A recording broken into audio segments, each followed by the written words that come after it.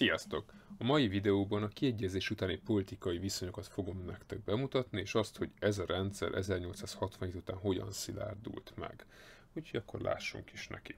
Először egy általános felvezetés lesz, és hát megnézzük, hogy mi a helyzet a gazdasággal nagyon röviden. Erre azért nem térek ki részletesen, mert majd a következő videó témája pont a dualizmus gazdasága lesz. No, hát akkor első körben vizsgáljuk is meg a jobbágy felszabadításnak a kérdését és annak a következményeit. Hogyha visszaemlékeztek az 1848 áprilisi törvényekre, akkor abban láthattátok, hogy a jobbágyságot ott felszámolták, viszont ugye a szabadságharc alakulása miatt azért nem tudták teljes mértékben végrehajtani a jobbágy felszabadításhoz kapcsolódó rendelkezéseket, mint például a földesuraknak a kártalanítását, erre az 1850-es években került sor az úrbéri pátenssel, de a lényeg az, hogy a szabadságharc leverés után sem vonták vissza a jobbágy felszabadításnak a kérdését, illetve hát ezt a tényt, hogy ennek köszönhetően, bár a szabadságharcot leverték, de a jobbágyság, mint társadalmi csoport ilyen értelemben megszűnt. Viszont nagyon fontos, hogy a végrehajtásának az egésznek a szabadságharc leverés után lelassult, és hát lényegében ez olyan szinten lassult le, hogy az 1867-es kiegyezés utánra is maradtak még ügyek, amiket rendezni kellett, ez meg is történt a kiegyezés után. Úgyhogy ennyit kell tudni a jobbágy felszólítással kapcsolatos dolgokról nagyon-nagyon-nagyon-nagyon nagy vonalakban. Mi a helyzet az iparral? Hát az iparban ugye szintén uh, még a reformkorban Széchenyi vetette fel, hogy a céhek már inkább hátráltatják az ipar fejlődését semmint elősegítik, és hát szintén az 1848-as áprilisi törvényekben törölték el a céheket, ebből következően ehhez sem nyúltak a Habsburgok, mert a gazdasági szempontból ez is egy hasznos intézkedés volt, és aztán majd a kiegyezés során egy iparfejlesztő törvény csomagot is el fognak fogadni, illetve több ilyen törvényt is, de a lényeg az, hogy az iparral kapcsolatos törvények mind-mind az iparfejlesztést szolgálták, és lényegében rendezték a munkaadók, illetve a munkavállalóknak a viszonyát is. És akkor még amit egy rövid gondolatban kiemelnék, az az oktatás. Az előző videóban szó volt a nemzetiségi törvényről, amit Bára Ötvös József vallás és közoktatásügy miniszter dolgozott ki. Hát ebből fakadóan, ugye ő volt a felelőse az oktatásügynek is, és hát 1868-ban bevezette a kötelező népoktatást is. Ennek a fő célja az volt, hogy az analfabetizmust felszámolják. És eredményes is lett, mert nagyjából, hogyha megnézzük a tankönyv 35. oldalán látható kördiagramokat, akkor ott azt láthatjuk, hogy 1869-ben az ország lakosságának, pontosabban a 6 év feletti lakosságának a 64%-a volt még analfabéta, és hát 30, sőt 41 évvel később pedig ez az arány megfordult, és a lakosságnak már csak az egyharmada volt analfabéta, kétharmada már tudott írni, olvasni. Úgyhogy ez az oktatási reform lényegében elérte a célját. És akkor ezek után térjünk rá a belpolitikai viszonyokra. Nos, hát a belpolitikában az alapvető kérdés, ami meghatározza, hogy ki melyik oldalon állt, az az volt, hogy hogyan viszonyultak az egyes politikai pártok a kiegyezéshez és a dualista államszervezethez. Hogyha most itt a történet elején szeretnénk értékelni magát a kiegyezést, akkor hát ezt sokan sokféleképpen értékelték az elmúlt 150 évben, de nagyjából a történészek között megvan az a kompromisszum, így az értékelésben, hogy igazából deákék a fennálló viszonyok között a lehető legtöbbet ki tudták hozni az adott szituációból, úgyhogy ez egy reális kompromisszum volt, és Magyarország elég komoly hasznot tudott ebből szerezni, méghozzá a gazdaság fejlesztése terén.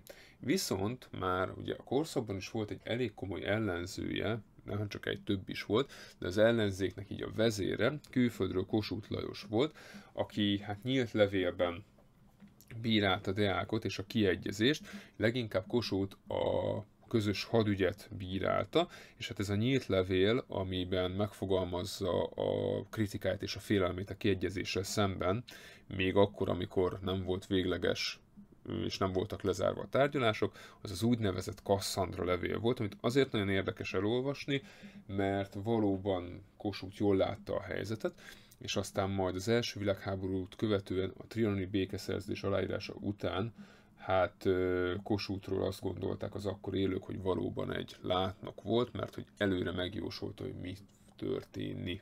Ezek után akkor pedig térjünk rá a pártviszonyokra. Ha visszaemlékeztek, 1861-ben két modern értelembe vett politikai párt alakult meg, a határozati párt és a felirati párt, és hát a nevük is onnan ered, hogy az októberi diplomára, valamint a februári pátensre milyen formában adjanak elutasító választ az uralkodónak. Na most a kiegyezés után ugye alapvetően a felirati pártból alakult Deák párt lett a vezető párt. Egyébként itt láthatjátok a tankönyv 34. oldalán található ábrát, amit érdemes is most használni, mert lényegében ezt elemezzük majd végig, és hát itt láthatjátok 1861-től nagyjából úgy 1890-ig, 1900-ig a fontosabb politikai pártokat a Magyar Királyságban. Na szóval, tehát ugye a kiegyezés után a kormánypárt az alapvetően a Deák Ferenc vezette Deák párt volt, Magát a pártot 1867 és 1875 között Deák Ferenc, illetve Gróf András Gyula vezette, és hát lényegében ők ugye következetesen liberális politikusok voltak, de voltak köztük centralisták és valamint konzervatívok is, és alapvetően előjáróban ezt ennyit is mondhatok el, hogy a korszakban az, hogy melyik párt kormánypárt és melyik párt ellenzéki, az a választási eredményeken túl még attól is függött, hogy hogyan viszonyultak a kiegyezéshez. Tehát hogy azok a pártok, amelyek elfogadták a közjogi értelemben vett kiegyezést, azokból lehetett kormánypárt, amelyik már nem fogadták el, azok alapvetően ellenzéki pártok voltak, és hát adott esetben ezt még úgy is biztosították a kormánypártnak a többségét, hogy adott esetben választási visszaéléseket is hát foganatosította, hogy éltek ilyen mocskos eszközökkel. Egyébként ez Európa szerte hasonlóan ment, meg hát ha megnézzük a mai politikát, manapság is láthatunk példát választási csalásra, azért, hogy a kormányzó párt, vagy pártok, vagy akár is fenntartsa a többségét. No, ezzel szemben ugye az ellenzéki oldalon, hogy megnézzük ezt az ábrát, két pártunk volt, az egyik a bal középpárt, amit 1867-ben alapítottak, és hát ennek a vezetője Tisza Kálmán volt, akik alapvetően közjogi szempontból bírálták a kiegyezést. A programjukat a 33. oldalon olvashatjátok, az volt a címe, hogy Bihari pontok, és a másik pedig az országos 48-as párt, aminek hát a nevéből is adódik, hogy ők az 1848-as alapokon állva bírálták a kiegyezést, ők még további demokratikus reformokat követeltek. Nos, és így érkeztünk el az 1875-ös választásokhoz. Azt kell tudni ezekről a választásokról, egyébként nem csak Magyarországon, szintén Európában is ez volt a bevett szokás ekkoriban, hogy nyílt szavazást tartottak. Mit jelentette az, hogy nyílt szavazást tartottak? Hát azt, hogy a szavazásra jogosultak, akik elérték a cenzus mértékét, és elmentek szavazni, a szavazó helységben a választási bizottságnak hangosan bemondták, hogy ők melyik pártra szavaztak. Ez ugye azért is volt problémás, főleg kisebb településeken, mert hát egyfelől ugye a választási bizottságnak a vezetői a település tekintélyes emberei voltak, és így névvel, arccal kellett felvállalni az esetlegesen tőlük eltérő politikai véleményt. Másfelől a szomszédok ismerősök, akik hát mögötte álltak sorban, szintén hallhatták ezt a politikai preferenciát, és hát így ugye az ember kétszer is meggondolta, hogy egy olyan településen élt, ahol mondjuk nagyon az egyik párt irányába húzott mindenki, ellenben ő egy másik párttal szimpatizált, akkor nem biztos, hogy ezen a nyílt szavazáson arra a pártra adta le a voksát, akikre vagy amire valóban szerette volna. Úgyhogy ennyit kell tudni a nyílt szavazás működéséről. No, ezen az 1875-ös választáson a nagy esélyes az Tisza Kálmán volt, Viszont azért Tisza Kálmán se támogatta teljes mértékben a saját pártja, úgyhogy itt a párt struktúrában, ahogy azt láthatjátok az előbb kivetített ábrán is, történt némi változás. No, hát mi történt? Hát lényegében, hogy két párt, illetve két pártnak a nagy része az fuzionált, az az egyesült. Ez a két párt pedig a Deák párt, valamint a balközép párt Tisza Kálmán támogató csoportja volt, és ebből a pártfúzióból jött létre a szabad elvű párt. És így ez a párt megnyerte a 75-ös választásokat, hiszen rájuk szavazott mindenki, akik támogatták a Deák pártot, valamint Tisza Kálmán politikájával is egyetértettek. De még további változások is történtek 1875-ben, mert hogy a bal pártnak az a része, amelyik hát igazából a párton belül Tisza Kálmán ellenzékét alkotta, az fuzionált az országos 48-as párttal, és ők hozták létre a függetlenségi pártot, hát ugye a nevéből ítélve egyértelmű, hogy ők hogyan viszonyultak a kiegyezéshez. Ezek után pedig akkor nézzük meg a győztes párt miniszterelnök jelöltjének, illetve miniszterelnökének, Tisza Kálmánnak a miniszterelnöki munkáját. Mint azt láthatjátok is, Tisza Kálmán 1875 és 1890 között volt Magyarország miniszterelnöke, és hát a videó elkészült egy pillanatában, és még ő a magyar történelmen leghosszabb ideig egyhuzamban a miniszterelnöki széket betöltő személy, hát ez nem sokára majd meg fog dőlni.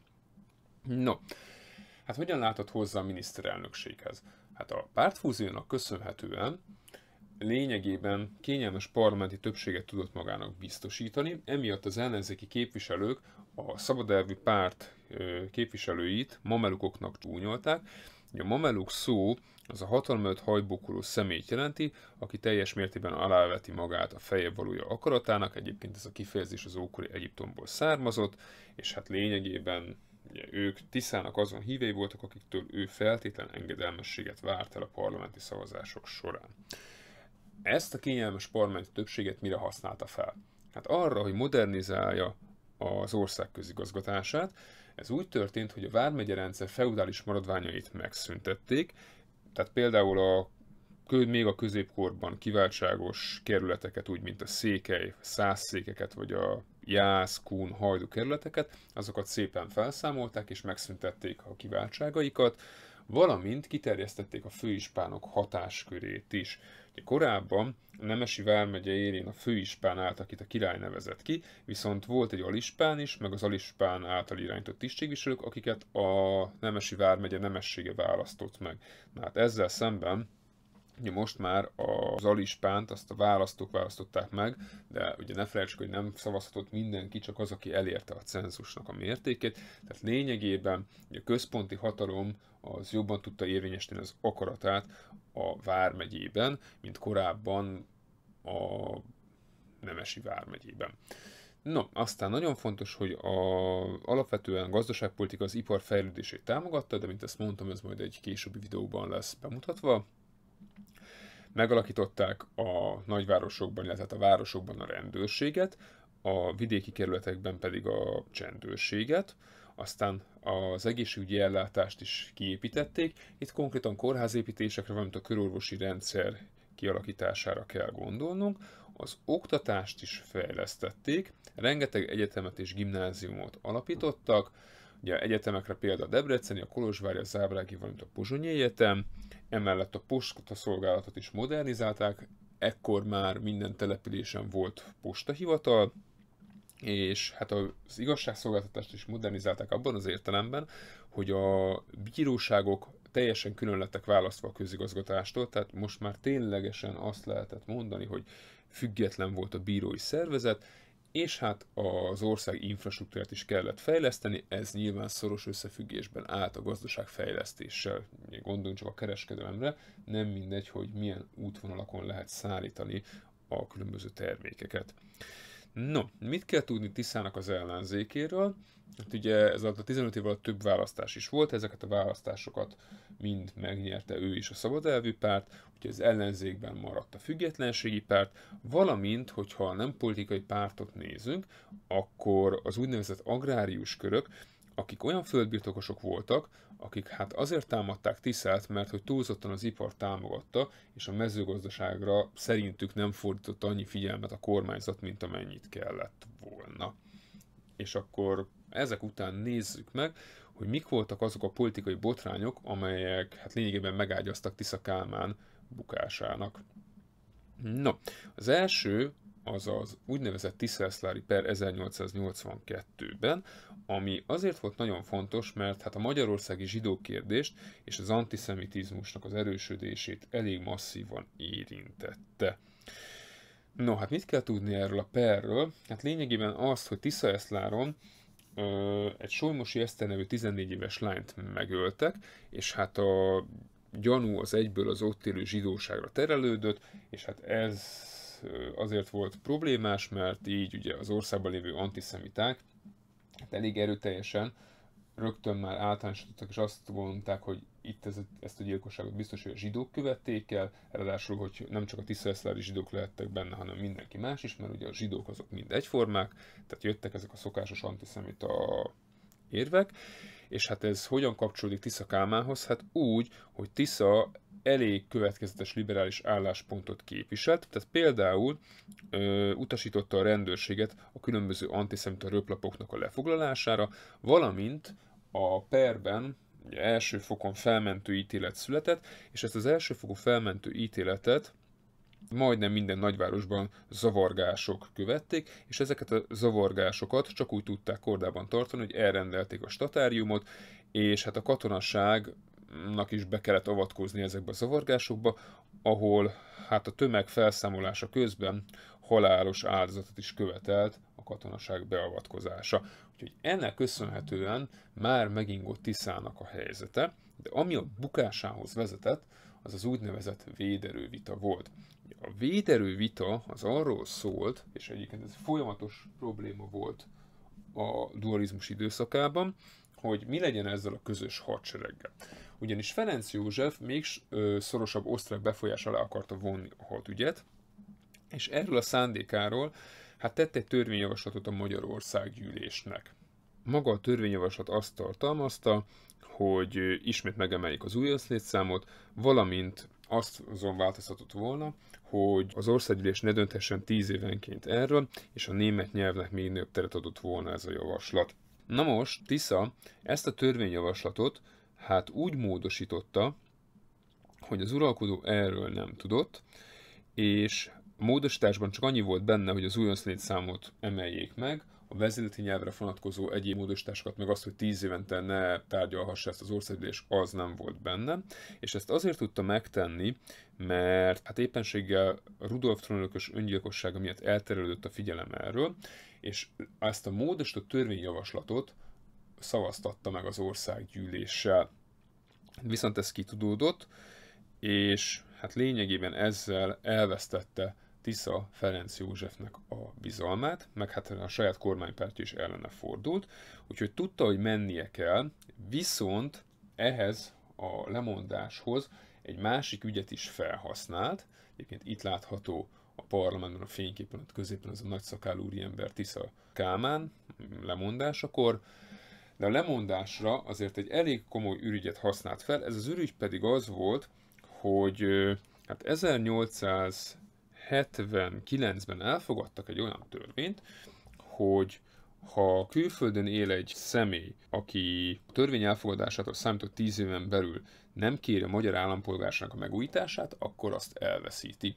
És hát Kossuth Lajosra momentán ez a törvény elég masszívan érvényes volt, hiszen 1849 óta nem élt Magyarországon, és hát Tisza kérvényezte Ferenc Józseftől azt, hogy Kossuth mentesüljön ezen törvény hatája alól, hiszen számos városnak volt már ekkora díszpolgára, Nyilván tisztában volt azzal, hogy Ferenc József nem fog ebbe beleegyezni, és így erre hivatkozva, amikor erre megkérte Ferenc Józsefet, és ő ezt elutasította, akkor erre hivatkozva mondott le Tisza Kálmán a miniszterelnökségről.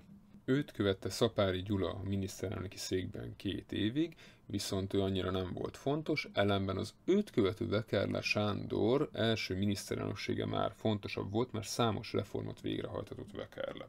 Emellett még azért is volt fontos, mert ő volt Magyarország első polgári származású miniszterelnöke, őt megelőzően csak nemesi származású politikusok voltak miniszterelnökök.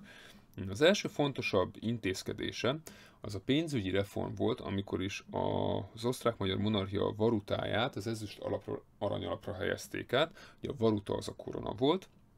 Aztán a következő fontosabb reform az az egyházi reform volt, aminek a lényege az volt, hogy az egyházak mellett már az állam is vállalt anyakönyvezést, valamint bevezették a polgári házasság intézményét is, és hát végül a harmadik fontosabb intézkedés az az volt, amikor az izraelita, azaz a zsidó vallás bevett vallásra vált, tehát egyenjogúvá vált a többi bevett vallással, ugye a nagyobb keresztény egyházakra kell gondolni, tehát a római katolikusra, görög katolikusra, görög keletire, evangélikusra, reformátusra. Közben 1894-ben Kossuth Lajos meghalt Torinóban, és hát ugye itt az egész magyar nemzet az gyászolt. Ferenc József viszont nem tudta Kossuthnak megbocsátani a forradalmi szabadságharc alatt, meg az azt követő próbálkozásait egy újabb forradalom kirobbantására, éppen ezért nem engedélyezte a nemzeti gyászt, viszont Vekerle Ferenc József nem tetszés ellenére és az engedély nélkül is megszerveztette Kossuth búcsúztatását, és hát a honvainak a hazahozását, valamint a temetését is, és akkor erről mutatnék most néhány képet. Ugye ez a kép a nyugati pályaudvarnál készült, ahol a tömegek várták a Kossuth maradványait Magyarországra szállító vonatot. Ez a kép a Ravatalnál készült, ott látható is, a Nemzeti Múzeum lépcsőjén ravatalozták fel Kossuthot. És hát még egy fontos esemény volt, bár ez már nem Vekerle miniszterelnöksége alatt, hanem egy évvel később, de Vekerle miniszterelnöksége alatt is már készültek rá, ez pedig az 1896-os esztendő, amikor is Magyarországon megtartották a milleniumi ünnepségsorozatot.